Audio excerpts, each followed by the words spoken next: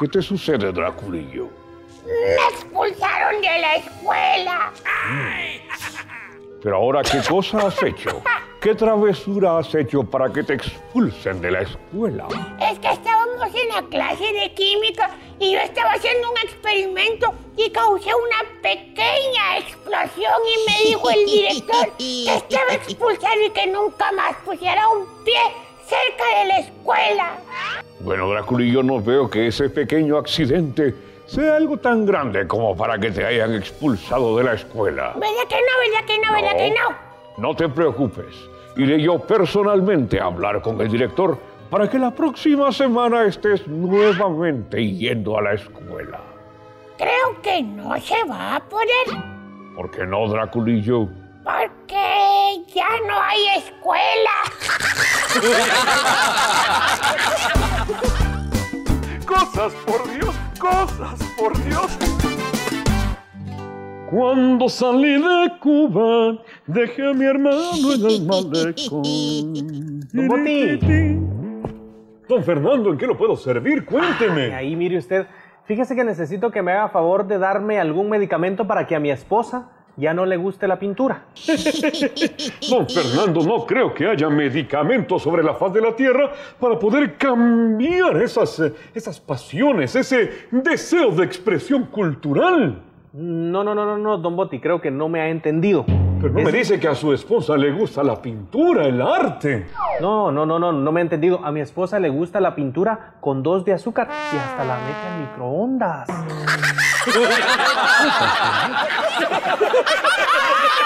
¡Cosas, por Dios!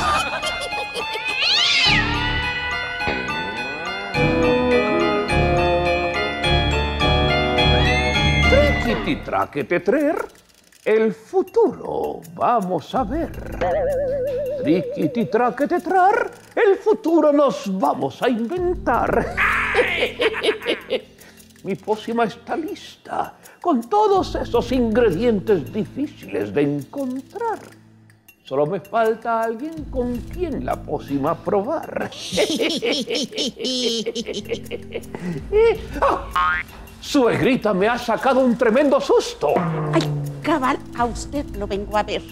Cuénteme en qué la puedo servir, querida suegra. Mm, Quiero que me tire las cartas. Ay, habérmelo dicho, me traigo todos los mazos para reventarse. No, no, no, no, yernito.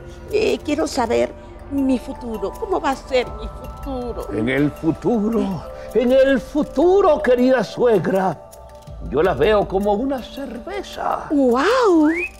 No, fría y echando espuma por la boca. No, yernito, no. Quiero saber eh, eh, si me voy a casar, si, si voy a ser rica. Mire, suegrita, usted está como los frijoles, ya se pasmó, pero ni rascando la olla. Pero no se preocupe que yo la veo como una mujer encantadora. Ay, yernito, si usted lo dice. Encantadora de serpientes. Mire, yernito, y hablando de serpientes. Ay, ¿usted cree en la reencarnación? Por supuesto. La reencarnación es la forma por la cual regresamos a este mundo a terminar las cosas que hemos dejado inconclusas, alcanzando y buscando la perfección. Pero no siempre regresamos en formas humanas, también podemos regresar en forma de animales. ¡Ay, qué bien! Porque a mí me encantan las serpientes. ¡Ay, suegra, suegra, suegra! Solamente le advierto que no se vale repetir.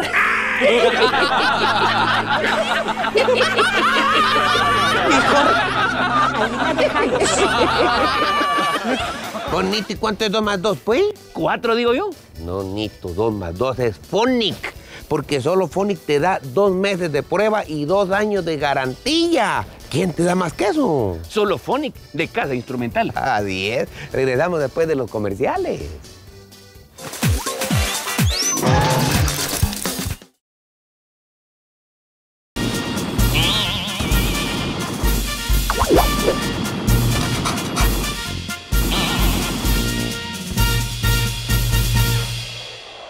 Vamos, soldados. Izquierda. Izquierda. Izquierda. Sargento Vamos Montes, a... Sargento Montes, Sargento Montes. ¿Qué pasó, Lalo? Con la novedad que las minas que nos dieron para el campo minado no sirven. Interesante. ¿Y usted cómo se dio cuenta? Porque hace 10 minutos estamos caminando en ellas sin nada de kabum.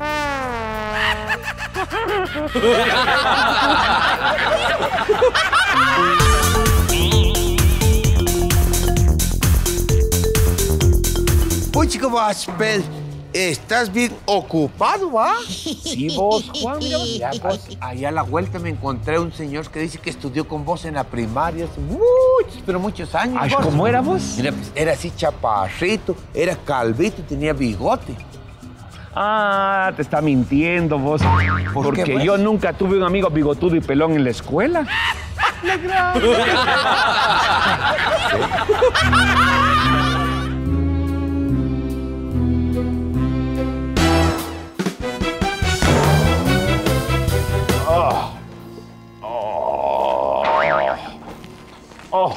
Fabio, ¿qué es lo que ha pasado? Ah, Luciano, es que cuando veníamos rumbo a la guarida, salió un tipo de la nada y nos quiso asaltar, así es que tuve que enfrentarlo a golpes, Luciano. Ya no estamos seguros en esta ciudad. Hay cada pillo. ¿Pero y qué más pasó? Pues como a la media hora de estar en el pleito, mi esposa decidió llamar a la policía, Luciano. Marcela, pero ¿por qué tardaste tanto en llamar a la policía? Lo que pasa es que al principio él iba ganando. Amigos, esperamos que se hayan divertido, que se la hayan pasado muy bien en este su programa Moralejas. Hoy estuvimos en el Zoológico La Aurora en la zona 13 de la ciudad capital de Guatemala. Si usted anda buscando un lugar bonito para pasarla bien en la ciudad, les recomendamos el Zoológico La Aurora abierto de martes a domingo de 9 a 4.30 de la tarde. Ahora sí, nos vamos con una historia y su respectiva moraleja. Esta es la historia del pulpo escritor. Se cuenta que en el mar había un pulpo muy sabio, un pulpo que escribía todo lo que observaba, lo que conocía, lo que había vivido, todas sus anécdotas. Y esto era bueno, porque los pececillos que le leían ya no eran tan incautos, ya no mordían el anzuelo tan fácilmente. El pulpo se hizo muy popular, muy famoso. Eso fue bueno, porque mucha gente le leía más, pero algunos tiburones que lo vieron y lo escucharon se acercaron y lo convencieron de que su lugar estaba en un lugar más exclusivo, más profundo. Y así lo hizo. Se hundió en las profundidades del océano y se hizo invisible con una densa y espesa cortina de tinta. Moraleja. Es cierto que quien no escucha consejos no llega a viejo, pero hay que tener mucho cuidado con el consejo de quien escuchamos. Con esa historia los dejamos, con todos los errores que cometimos en la producción de este su programa y con saludos de chapines en esta bella tierra del Quetzal para chapines que nos ven y escuchan en el canal 429 de DirecTV en los Estados Unidos de Norteamérica. Hasta la próxima semana.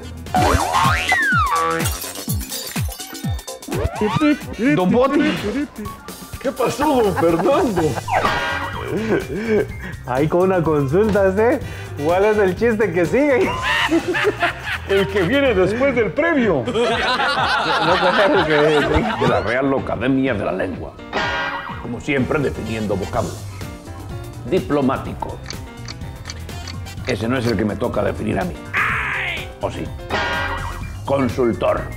Ese es el mío. Vamos otra vez. Mi nombre es Fernando Galvez y quiero mandarle un gran abrazo y un gran saludo a mi señor padre que se encuentra en Stanford, Connecticut. Mi papá Fernando Galvez, un gran abrazo desde aquí, desde Guatemala.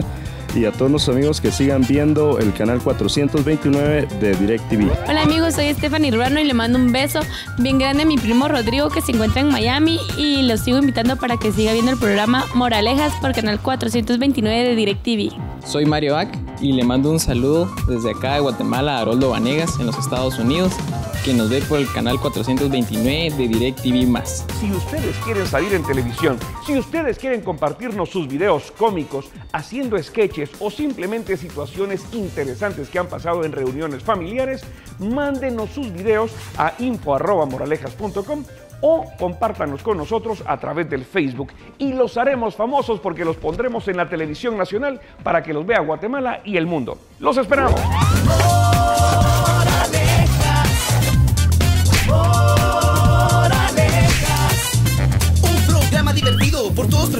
lo vemos en familia y con los amigos, ya no más introducciones y con muchas emociones, con sus chistes y frases bien personajes. Moraleja ya llegó.